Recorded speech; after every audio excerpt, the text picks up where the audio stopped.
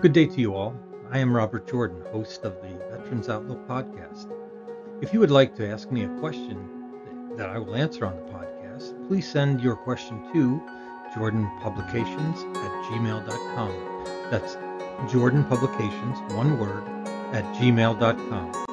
If you're wondering about a military transition, furthering your education, seeking advice about a particular affliction or addiction, or beginning a new chapter send me an email to jordanpublications at gmail.com and I will provide you with, a, with an answer. Thank you for listening to the Veterans Outlook podcast that's available on Spotify, Amazon, Google, and iHeart Podcasts. Thank you and